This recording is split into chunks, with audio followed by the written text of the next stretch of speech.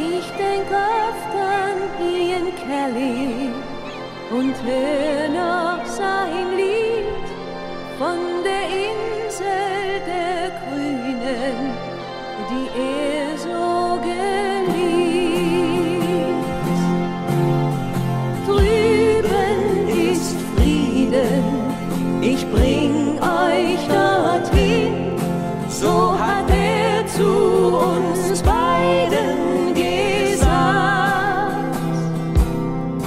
Hier ist jeden Tag Frühling, das Land im